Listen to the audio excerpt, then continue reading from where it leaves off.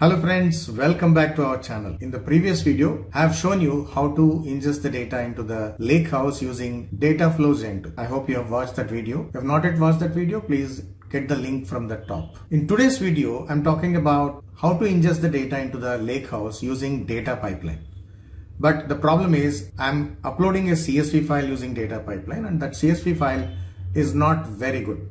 It has so many errors and also certain columns need to be cleaned up. So I'm going to transform the data using notebook. That means I am explaining you how to use PySpark. Within that, how to use the SQL statements as well. If you are new to PySpark, definitely this video is going to be useful to you. And also I have touch based most common problems while dealing with such data in CSV or Excel so that it's very easy to understand. Once that is done, I've shown how to push that data into Delta table and how to set up semantic model and then create a report.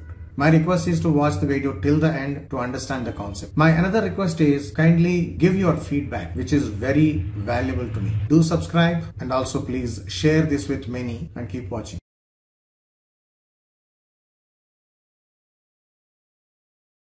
To begin with, I need to create one fabric enabled workspace. I'm just going to the workspaces, new workspace. I can give any name. The name of the workspace is data pipeline demo and in advanced I need to select the trial because I'm using the trial license for fabric and apply. Now I can add a new item. I need to add a lakehouse. The new item, search for lakehouse and data pipeline demo. You should not have spaces in between otherwise it will throw an error and create it. Now I have two sections, tables and files files. I'm using the data pipeline and ingesting the data into files, a CSV file.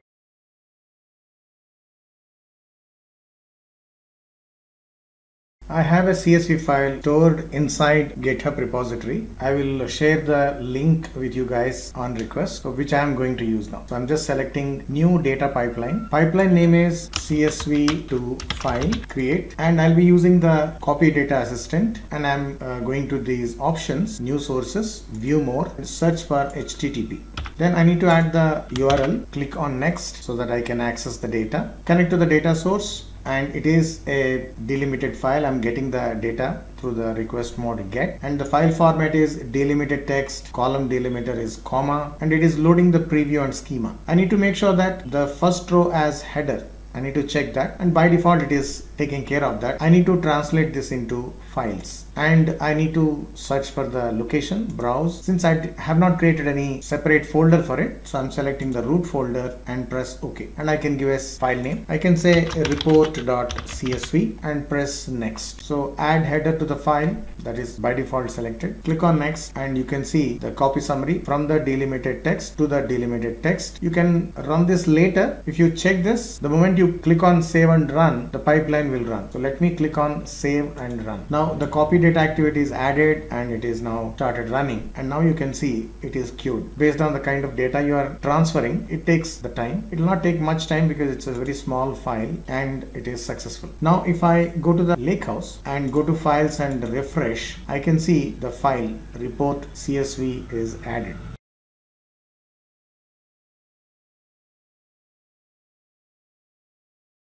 We can push the CSV file into a delta table directly using options load to the delta table. But in this CSV we have certain issues need to be cleaned. Some data type issues are there and in few columns the data is not in a proper order. I need to prepare the data for that I'm using notebook. Within the lakehouse experience you can see open notebook and there I can add a new notebook. I can name the notebook as CSV2 table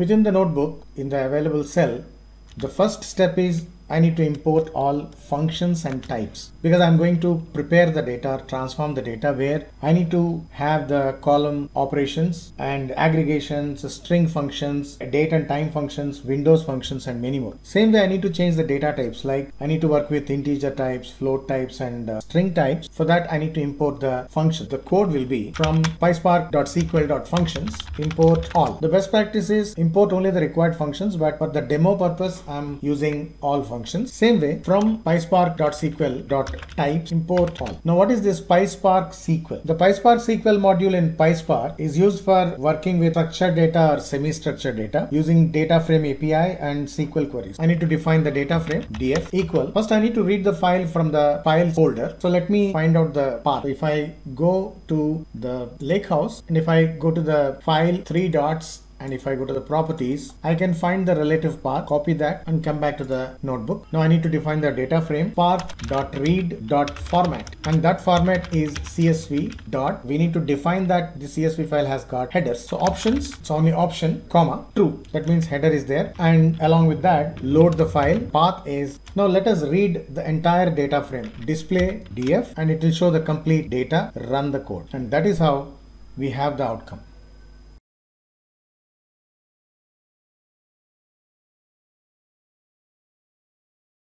I need to look at the data and understand if any redundant columns are there. For example, registration number. This column is not required for me to create the final outcome. So I can remove this column from this table. df equal df.drop and the column name. And if I run the code, that column will be gone.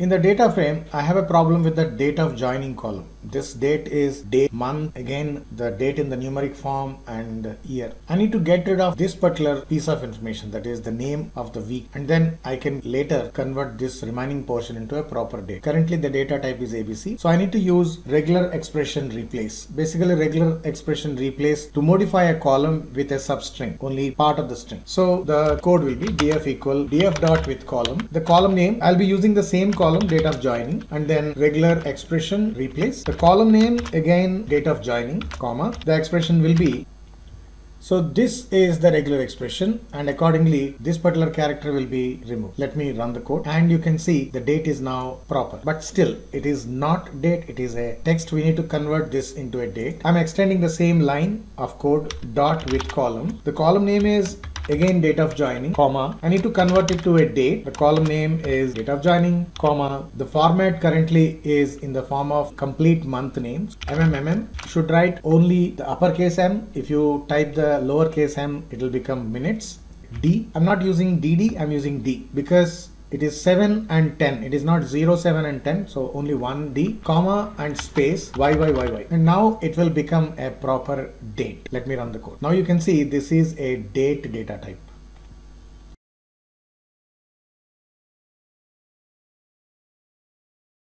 Now I need to add three additional columns where I want to have month, month name and year. So this will be in a separate line. df equal df dot with column. Column name is month which is nothing but month number. Function is month and the column name is date of joining.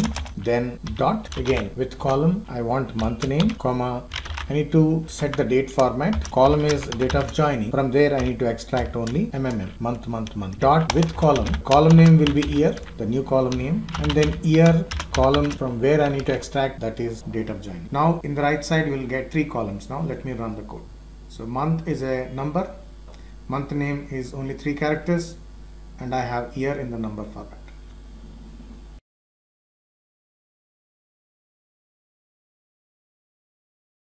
If you look at the distribution of department column by just clicking on this column, I can see anomalies. Finance, one more time finance, again finance, and then fin. And there is one more value where in finance, middle character is having uppercase. That means improper character. So I need to make sure that these strings are properly constructed. So finance will have only one finance and all improper character values should be brought it to proper case. For that I need to write the code. So the next step df equal df dot with column. And the column name is department. This is basically the new column but I don't want to create a new column. Within the same column I want to do the changes. I want to trim the column. And the column is department dot with column. Again the column is department comma initcap. That means the initial character will be capital. And other characters will be normal. So it's a proper case. And the column is department and if I run the code I can see the distribution in a proper manner. So let me run the code again.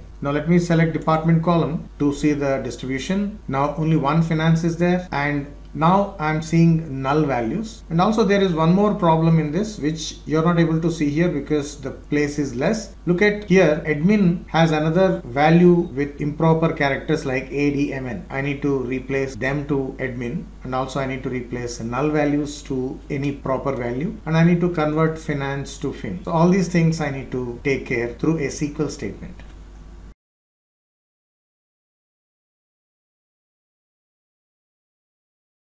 To write the SQL statement, it will be the new line of code df equal df dot with column. The column name is department, comma. We need to use a function expression and then I'm writing the SQL statement within this uh, brackets. So it should be written in this manner. Three double quotes in the beginning, three double quotes in the ending and between the double quotes you will get the statement and we are using the case statement. Case when department is null then it should be fin. So any one value i'm just adding. When department like so here in PySpark SQL we write rlike. So a d m n then it should be admin. When department are like finance then it should be just fin. Else whatever is there in the department values let it be there and then end. Now this will give us the distribution of the department column proper. We will reduce the values and we will get a proper case values and no spelling mistakes and everything is fine. Let me run the code. Now let us look at the distribution department and if I expand it we will find fin no finance now we have removed that and admin HR and all the column names are proper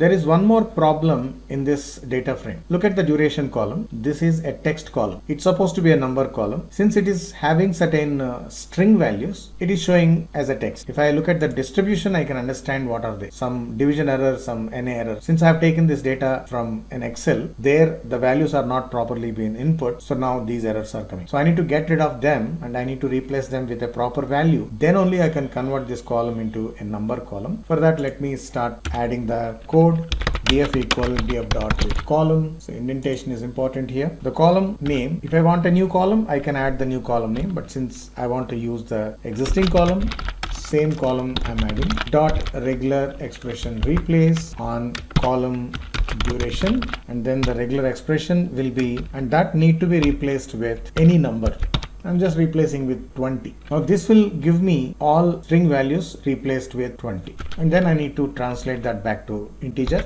So df equal df dot with column. Again, if I want a new column, I can add, but I'm using the existing column. The column and in which the uh, integer type need to be done, that is duration column dot cast integer type, and this will be turned into a number. So let me run the code. Now you can see the duration column is a number. It will show a different uh, distribution and different exploratory analysis.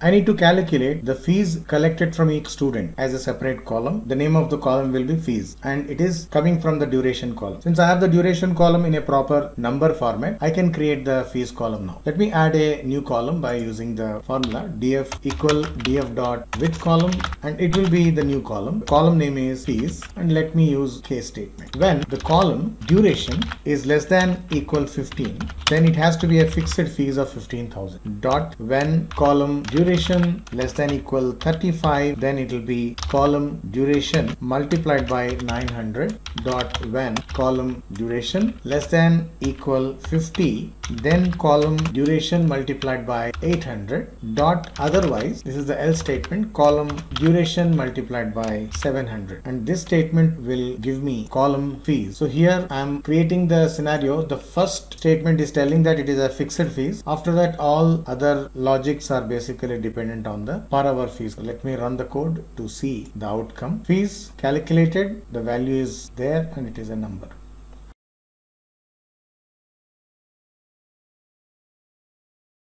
Now I can write this transform data into a delta table, but one small problem because one column name is having a space. So in the table, it will not be accepted. It will not allow. For that, I need to make sure that this column name is properly renamed. So that is another step. This will be df equal df dot with column renamed. We are renaming a column. Old column will be sales space rep and new column will be without space and if I run the code you can see the table the data has a proper column. Now I can write this to a delta table. df dot write and dot format is delta dot mode. I want to append the data time to time whenever I have an incremental data. I don't want to replace that with the new data and save as a table. And the table name is revenue. Finally, if I run this code in the Lakehouse table section, I can see the new table. Code runs successfully. Let me go back to Lakehouse, go to the table section and just click on refresh and I have the revenue table created.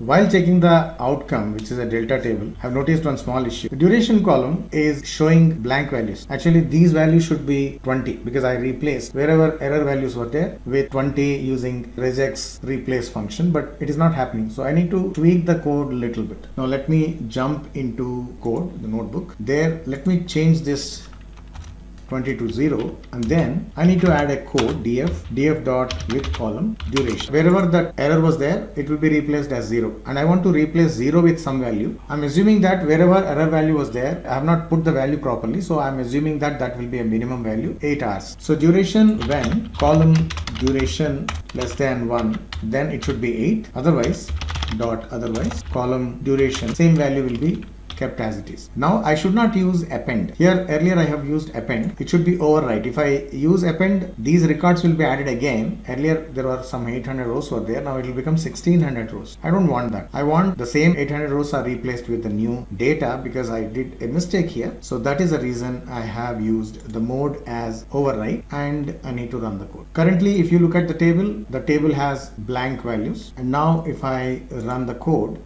code is running and it is success. Let me go back to the lake house and refresh the table. Now you can see the updated table with updated values and the minimum fees. Now i can use the sql analytics endpoint. Either i can create a new semantic model or i can use the existing model and uh, manage the default semantic model and select what are the tables to be part of my semantic model. To sync the update go to home go to settings. There default power bi semantic model model, sync the default Power BI semantic model on and now whatever pipeline updates are happening will be hitting the semantic model directly. And then I can go to the reporting and create one new report. Or else I can go to the workspace. I can use the default semantic model and then open it. I can explore the data and I can auto create a report or create a blank report or create a paginated report. Let me click on auto create report and the report is ready. View the report and this is the final outcome